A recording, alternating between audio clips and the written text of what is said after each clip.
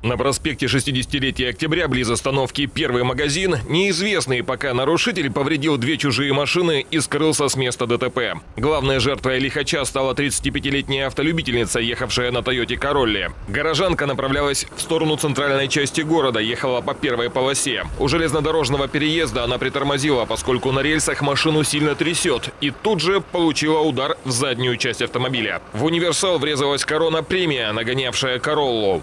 И получается, удар сзади меня разворачивает. Я на, получается, передним бампером на фуру. Меня разворачивают. Вот результат. Чего себе вас развернуло? Но у него скорость весьма приличная. Я была. даже не знаю, откуда он вывернул, потому что по зеркалам от меня машины, шедшие сзади, были очень далеко. Гоняться за нарушителем женщина не стала. Во-первых, тягаться с кем-то в скорости на гололеде у автолюбительницы не было никакого желания. Во-вторых, Королла получила весьма существенные повреждения. Универсал оказался поврежден и спереди, и сзади. Ударом его отбросило на машину дальнобойщика, ехавшего параллельно Королле по второй полосе. Существенных повреждений 18-тонная сцепка не получила. Водитель тягача говорил, что удар был приличной силы. Вольво даже повело в сторону.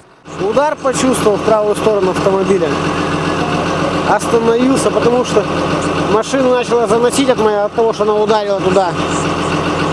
В нее въехала другая машина на переезде и скрылась. Житель Приморья, доставлявший в краевой центр продукты питания из Владивостока, был несколько поражен местными нравами. Упомянул он и дороги, и состояние переезда, и культуру вождения. Шансы отыскать беглеца есть. Битую корону премию нашли буквально за поворотом, на улице Аэродромной. Водитель бросил машину и ушел пешком. Иномарку увезли на арестплощадку. С места происшествия Денис Коршунов, Ольга Кошелева и Андрей Алферов.